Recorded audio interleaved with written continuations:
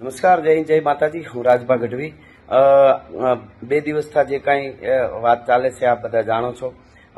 એટલે મને ખાસ કરીને વનબંધુઓ, આદિવાસી ભાઈઓનો એમને એવું લાગ્યું છે કે ભાઈ, હું આદિવાસીને વિશે આવું બોલ્યો છું કે લૂંટી લેવું પણ ઘણી ઘટના, અમે દુનિયાના દેશોની વાત કરતા કરતા કરતા મેં ડાંગનું નામ લીધું હતું. તો ક્યારેક એવી ઘટના બની હોય, કોઈ મગજમાં આવી જતી હોય, અને એવું બનતું હોય એ વાત, એટલે હવે એમાં એક વાત ચોક્કસ છે કે હું આદિવાસી શબ્દ ક્યાંય નથી બોલ્યો, વનવાસી નથી બોલ્યો, અને હું પણ વનબંધુ છું. આદિવાસી ભાઈઓ, આપ સ્વયં હું પણ ગીરમાંથી આવું છું. અને આવી રીત, આની ઓલી ગેરસમજ કરી અને આપણે ઓલું થાય એટલે તમારી લાગણી એને વંદન છે. તમને વનબંધુઓ મને ઘણાએ એવું કીધું કે ભાઈ અમે પણ મહેમાનગતિ કરાવીએ છીએ રોટલા ખવડાવ્યા છે. તો એ એ જે મહેમાનગતિને આપણી સંસ્કૃતિ હાસવે છે, એને વંદન છે. હું તો લૂંટી લઈએ એમને જ એવું બોલ્યો છું કે વનમાં હવે એ તો એ જંગલમાં કોઈ બીજા લૂંટારો આવે ક્યાંકથી આવીને પણ લૂંટી લેતા હોય તો આદિવાસી કે એવો શબ્દ જ હું નથી બોલ્યો. તો અને છતાંય એક વાત એ કરી દઉં હું લોક સાહિત્યનો માણસ છું.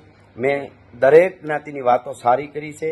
હજી સુધી, આજ સુધી એક પણ વાત કોઈ સમાજને દુઃખ થાય એવી મેં કરી નથી. આજ પણ સમાજના નામથી મેં કરી જ નથી.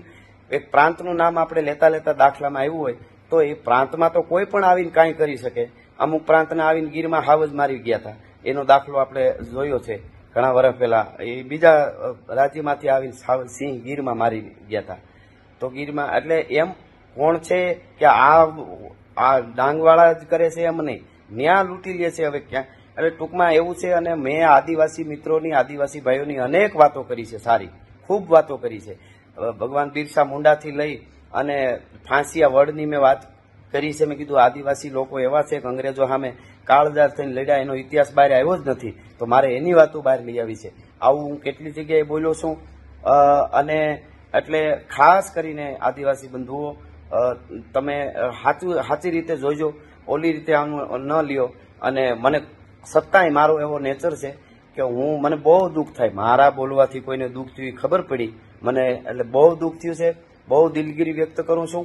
પણ આ કોઈ જ્ઞાતિ જાતિનો શબ્દ જ નથી બોલ્યો. હું પણ વનબંધુ છું. આપ છો એમ જ એસટીમાં આવું છું.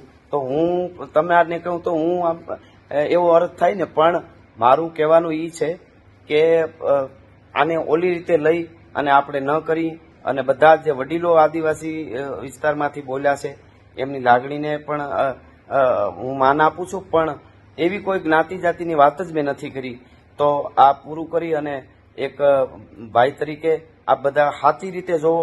અને મેં ઇતિહાસોની વાતો કરી છે. આદિવાસી સમાજની ખૂબ.